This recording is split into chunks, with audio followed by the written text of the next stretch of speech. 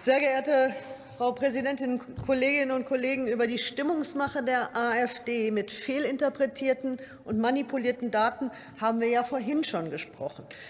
Ähm, ja, Impfnebenwirkungen existieren. Es gibt auch schwere Impfschäden in sehr, sehr seltenen Fällen. Aber das ist kein Grund, deswegen auf eine Impfung gegen das SARS-CoV-2-Virus zu verzichten. Aber anstatt darüber zu sprechen, wie wir Menschenleben und Gesundheit der Bevölkerung schützen können, vergeudet die AfD hier wieder unsere Zeit, um damit, damit um gegen die Impfung zu polemisieren und die Verunsicherung in der Bevölkerung zu schüren. Und das ist eine Schande. Vorbereitet. Ich habe eine Grafik mitgebracht. Eine Grafik, die den Zusammenhang herstellt zwischen Impfquote und Übersterblichkeit.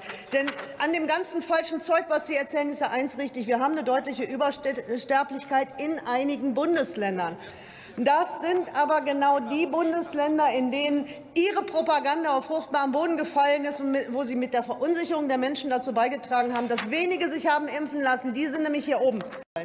Nun wissen wir ja, dass die AfD davon ausgeht, wenn es Deutschland schlecht geht, dann geht es der AfD gut.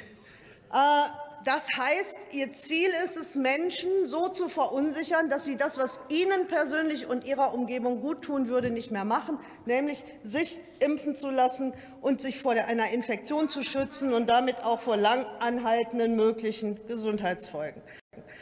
So, Jetzt will ich aber jetzt nicht nur über die AfD reden. Ich habe noch zwei Minuten, die muss ich leider den anderen Parteien hier im Haus noch mal widmen. Weil warum ist es denn so, dass die AfD so einfach es schafft, Menschen zu verunsichern?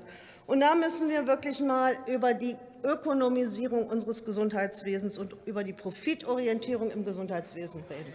Dann schon. Und deswegen finde ich, Herr Lauterbach hat vollkommen recht, wenn er sagt, wir müssen die Ökonomisierung, Ökonomisierung im Gesundheitswesen zurückdrängen. Und wenn er das wirklich angeht, dann wird er die Unterstützung der Linken haben. War das ein Mist? Das kannst du laut sagen. Los! War das ein Mist? Ja, Mist! Mist! Mist! Mist!